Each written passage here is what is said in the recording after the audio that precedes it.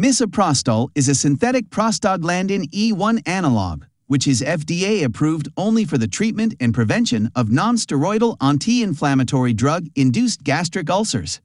However, it is used in combination with mifepristone for medically induced termination of pregnancy worldwide.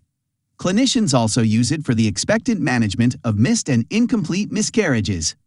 At much smaller doses, it induces cervical ripening, and can be used to induce labor in full-term pregnancies. It is also useful in the treatment of postpartum uterine bleeding. Prostaglandin has several important functions in our body. It secretes protective mucus in the stomach and reduces acid-induced damage to the gastric mucosa. It also enhances uterine contractions, especially during labor, and it reduces gastric acid secretion in the stomach.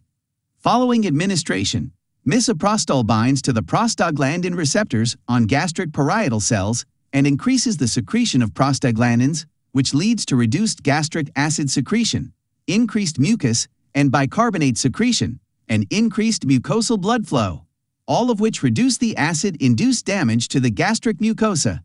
In the uterus, it binds to prostaglandin receptors of uterine smooth muscle cells and induces uterine contractions, which is responsible for its abortifacient properties. It also causes cervical dilation by promoting degradation of collagen and increasing the cervical tone. Misoprostol is taken per orally. It is best to take the drug at night to reduce gastric disturbances, and it should not be taken with magnesium-containing antacids, as it may cause misoprostol-induced diarrhea. Misoprostol is usually a safe and well-tolerated drug by most individuals.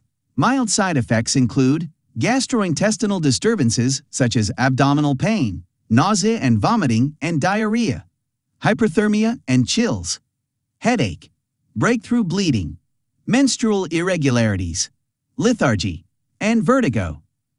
Moderate to severe side effects are very rare and can include hypotension, sinus tachycardia, vaginal bleeding, uterine rupture and cervical laceration, thrombosis and pulmonary embolism, and anaphylaxis. Finally, misoprostol is contraindicated in any person who has a hypersensitivity to it. Other contraindications include normal pregnancy and previous caesarean section, as misoprostol can increase the risk of uterine rupture.